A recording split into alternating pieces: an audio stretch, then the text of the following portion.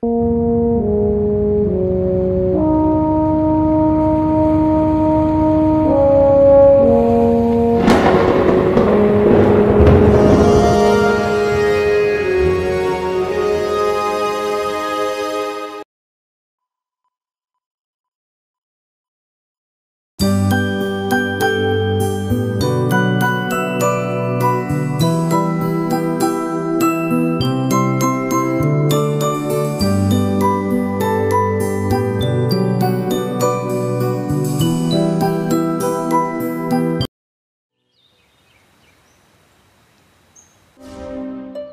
இதோ பாருங்க மகேஷ்.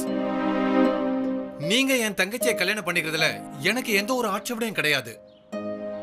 எங்க மார்க்கத்துல இருக்கிற ஒழுக்கங்களை பிடிச்சிருக்குதுன்னு சொல்றீங்க. ஆனா கல்யாணம்னு வரும்போது ஆண்டவர் சில நிபந்தனைகளை எங்களுக்கு விதிச்சிருக்கிறாரு. ஆண்டவரா?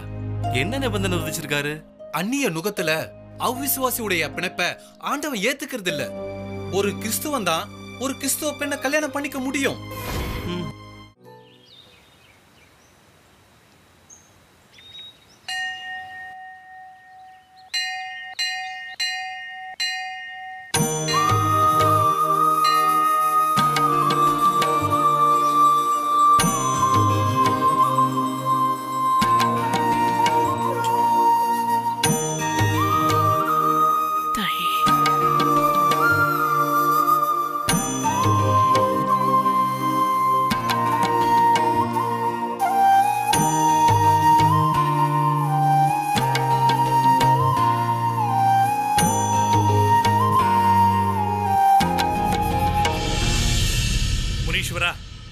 என் பையன் பிஇல நல்ல மார்க் எடுத்து பாஸ் பண்ணியிருக்கான்.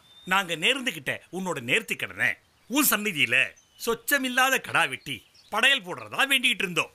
எங்க எல்லாருடைய வேண்டுதலுக்காக இந்த படையலை ஏத்துக்கிட்டு என் குழந்தை குட்டிகளை நோய் நொடி இல்லாம நீதான்ப்பா காப்பாத்தணும். ஏண்டா வரும்போது நெத்தியில கொஞ்சம் திருநூறு வச்சுட்டு வரக்கூடாது? பாருமா.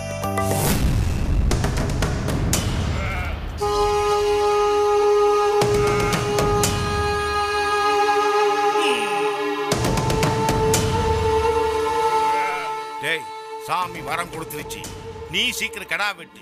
காலையில இருந்து இதுக்காக நான் சாப்பிடாம இருக்கேன்டா. டேய் எங்கடா தலையை குலுக்குனுச்சு? சும்மா இப்படி தானடா ஆட்டுச்சு? டேய் ஒரு காலை ஆட்டிச்சுல.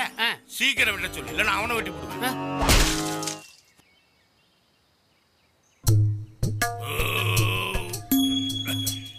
என்ன மாப்பிள?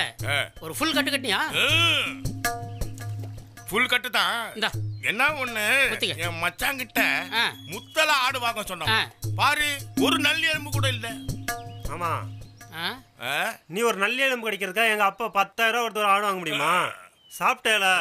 ஆமாமா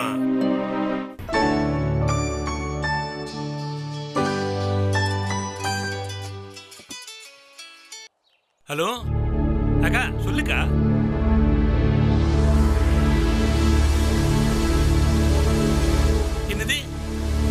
எப்போ? அப்படியா? சரி சரி சரி. அக்கா நீ ஒன்றும் டென்ஷன் ஆகாத. நான் பார்த்துக்கிறேன் விடு விடு விடு.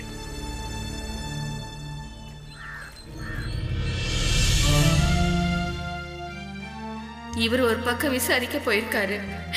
விசாரிச்சுட்டா நடந்தது இல்லைன்னு ஆயிடுமா? இவனுக்காக இவர் எங்க போய் அலையிறாரோ? பார்வதி பார்வதி? என்னங்க ஆச்சு? போன இடத்துல ஏதாவது விசாரிச்சீங்களா? விசாரிச்சிட்டேன். நல்லா விசாரிச்சிட்டேன். நடந்ததெல்லாம் உண்மைதான். கிறிஸ்டியன் இன்ஸ்டியூட்டில் படித்தா ஒழுக்கம் வரும் நல்ல படிப்பு வரும்னு தான் நம்ம பையன் மகேஷை படிக்க வச்சோம். அதுக்காக இப்படியா முடிவெடுப்பான் அந்த பையன்? இப்ப நம்ம என்னங்க செய்யறது? ரெண்டு பேரும் தூக்கு போட்டு செத்து போலாம். சொந்த பந்தங்களுக்கு மத்தியில எப்படி நடமாடுறதுன்னு கேக்குறேன். ஆத்திரப்படாதீங்க. எனக்கு ஒண்ணு தோணுது. நம்ம சொந்தத்துல ஏதோ ஒரு பொண்ணை பார்த்து கல்யாணம் பண்ணி வச்சிருவோம். அவ இவனை மாத்திடுவா. இவன் அவளை மாத்திடுவான். இப்படி செய்யலாம்?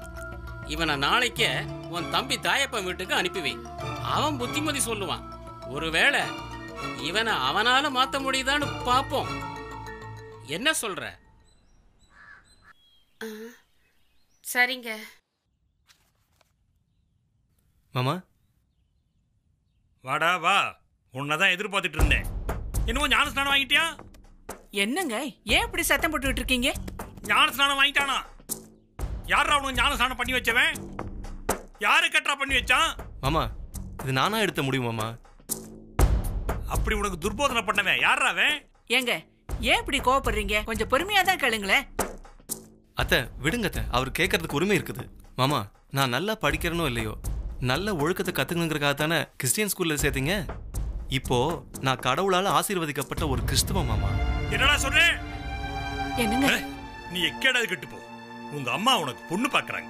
நம்ம மதத்துல நம்ம ஜாதி ஜனங்கள்ல பார்த்து ஒரு பொண்ணை கல்யாணம் பண்ணிக்க. அதுக்கு வாய்ப்பே இல்ல மாமா. நான் ஒரு கிறிஸ்தவ பொண்ணை தான் கல்யாணம் பண்ணிக்க முடியும். ஏண்டா? உனக்கு ஏதாவது கிறுக்கு அது பிடிச்சு போச்சா? அந்நிய நுகத்துல அவ்விசுவாசிகளுடைய பிணைப்பை ஆண்டவர் ஏத்துக்கிறது இல்ல ஒரு கிறிஸ்தவன் ஒரு கிறிஸ்தவ பொண்ணை தான் கல்யாணம் பண்ணிக்கணும். மண்ணாங்கட்டி.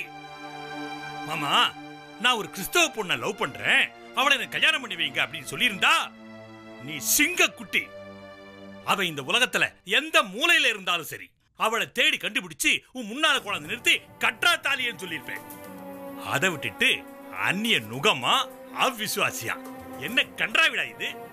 தபர்ரா தலைமுறை தலைமுறையா நம்ம சாமிகளை கும்பிட்டு தாண்டா உத்தியோகத்துக்கு போயிருக்கோம் படிச்சிருக்கோம் கல்யாணம் பண்ணியிருக்கோம். இந்த சாமிகளை கும்பிட்டு தாண்டா இவங்க படிச்சிருக்காங்க. உங்க சாமிங்க சிலைங்க எல்லாம் புத்திய மழுங்கடிக்கிற வித்த மாமா. வித்தையா?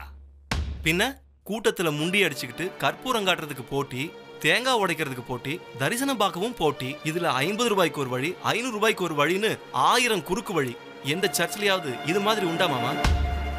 கோயிலுக்கு போனாலே கூச்சல் குழப்பம் சிலை தேர் திருவிழா அலகு குத்துறது ஊர்வலம் இதெல்லாம் தானே நடக்குது? யோசனை பண்ணி பாருங்க. அழக உடம்புல குத்திக்கிறோமே கண்ணுல குத்திக்க முடியுமா? ஏய்! ஐயோ எனக்கு விடுங்க இந்த பக்கம் வாங்க. என்ன பேச்சு பேசுற அவனை பத்தியா? விடுங்க. அடிங்க மாமா. அழக பேசாம கண்ணு குத்தி இருங்க. கிடக்கலாம் ஐயோ. அடிக்கட்டும் அத்தை. இந்த புராணம் இதிகாசங்கள்ல இவர் படிச்சதெல்லாம் அதம் பதம் சம்ஹாரம் அதுதானே? குருச்சேத்திரத்துல போர் நடந்தே ஆகணும்னு ஆண்டவன் சொன்னது தானே இவர் படிச்சிருக்காரு? டேய் அது அதர்மத்தை அழிக்காம தர்மத்தை நிலைநாட்ட முடியாதுங்கிற தத்துவம்டா. அந்த அதர்மத்தை தர்மத்து பக்கம் இழுத்து சமாதானப்படுத்த முடியாதா? சொல்லுங்க மாமா. முடியும். அதைத்தான் இயேசுநாதர் சொல்றாரு ஒரு கணத்துல அரைஞ்சா மறு கணத்தை காட்டுன்னு. இது கோழத்தனம் இல்ல வீரம். சமாதானத்துக்காக ரத்தம் சிந்தவும் தயாரா இருக்குங்கிறதுக்கான வீரம் மாமா. இதைத்தான் வள்ளுவரும் சொன்னாரு இன்னா செய்தாரை ஒருத்தல் அவர்னால நன்னயம் செய்து விடல்னு என்னடா சொல்ல வர? விடுங்க ஏன்? திருவள்ளுவர் கூட ஏசு கிறிஸ்துவோட ஃபாலோயர்னு நான் சொல்றேன். அத்தை நான் கிளம்புறேன். மாமா கொஞ்சம் யோசிங்க.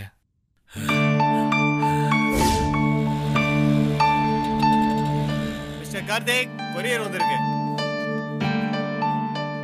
கார்த்திக் என் அண்ணன் தான். கொடுங்க.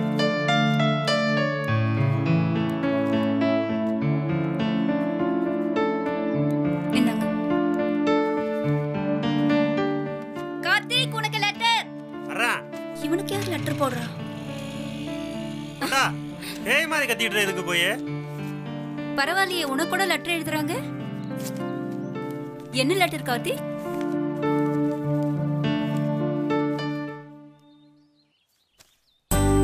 அப்பா எனக்கு வேலை கிடைச்சிருச்சுப்பா.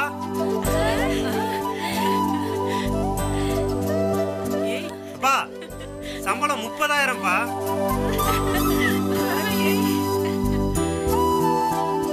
இருபத்தாயிரம் தான் சம்பளம் பேசியிருந்தேன். முப்பதாயிரம் ரூபா போட்டுருக்காங்கப்பா. அண்ணா ஒன்றும் பிரச்சனை இல்லை. இருபத்தொன்னாயிரத்தை நீ எடுத்துக்க. மீதி ஒன்பதாயிரத்தை ஏன்ட்ட கொடு. நான் பத்திரமா பார்த்துக்கிறேன் சக்தி. நீ?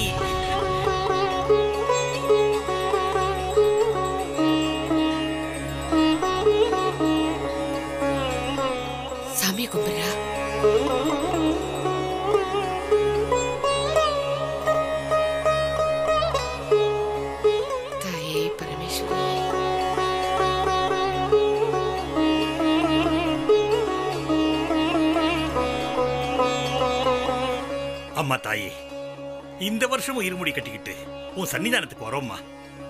எல்லாரையும் நல்லபடியா காப்பாத்து தாயே. அவங்க எல்லாரையும் பாரு நெத்தியில விபூதி வச்சுட்டு வந்திருக்காங்க. உன் நெத்தியை பாரு வெறும் நெத்தியா இருக்கு. அவன் என்னைக்கு நாம சொன்னதை கேட்டிருக்கான். சரி நான் வெளியில வெயிட் பண்றேன். சரி பூஜையை முடிச்சிட்டு சீக்கிரம் கிளம்புவோம் வா. போயிட்டு இருமுடி கட்டிக்கிட்டு நேரத்துக்கு நம்ம கோயிலுக்கு கிளம்பணும். புரியுதா? யாரும் லேட் பண்ணிடாதீங்க. அவங்க எல்லாம் சரியா கிளம்பிடுவாங்க மாமா. எனக்கு ஒரு சின்ன சந்தேகம். என்னப்பா சந்தேகம்? இல்ல மாமா. முன்னெல்லாம் ஐயப்பன் கோயிலுக்கு தான் இருமுடி கட்டிட்டு போவீங்க. இப்ப அம்மன் கோயிலுக்கும் இருமுடி கட்டிட்டு போறீங்க. ஏதாவது ஐதீகமா மாமா? அப்ப நீ எங்களை வழி அனுப்ப வரல. வம்பு பண்ணதான் வந்திருக்க இல்ல மாமா. சந்தேகத்துக்காக தான் கேட்டேன். கடவுளை வழிபடுறதுக்கு எந்த குறிப்பும் தேவையில்லை. இது ஒரு முறை அவ்வளவுதான். ஆக நமக்கு எந்த ஒரு ஒழுங்குமுறையும் தேவையில்லை. நம்ம வசதிக்கு தகுந்த மாதிரி எப்படி வேணாலும் மாத்திக்கலாம். டேய் நீ அந்நிய தெய்வத்துக்கிட்ட ஆனவன். உனக்கு ஆன்மீகம்லாம் புரியாது. அந்நியமா? இல்ல மாமா இயேசுநாதரும் பன்னிரெண்டு சீடர்களும் நம்ம ஆசியா கண்டத்தை சேர்ந்தவங்க தான். டேய் பேசாம வாடா. ராகு காலம் வரப்போகுது. போய் இருமுடி கட்டணும். எல்லா நேரமும் நல்ல நேரம் தான்ப்பா மனுஷருக்காக ஆண்டவரால படைக்கப்பட்டது பொழுது. இதுல நல்லது கெட்டது எதுவும் இல்ல. எங்களை பரிகாசம் பண்ணலாம். ஆனா நாங்க அம்மன் கோயில் போயிட்டு வந்ததும் நம்ம குடும்பத்துல சந்தோஷமான நல்ல காரியம் நடக்குதா இல்லையான்னு பாரு. நடக்கும் மாமா. தீவிரவாதிங்கிட்ட மாட்டினவனுக்கு கூட பிரியாணி கிடைக்குது இல்ல? மாமா கோவப்படாதீங்க. அத்தை மாமா ரொம்ப கோவப்படுறாரு பாத்துக்குங்க. இவர் பைபிள் படிச்சா திருந்திடுவாரு. என்ன பேச்சு பேசிட்டு போறான் பாரு அவன்.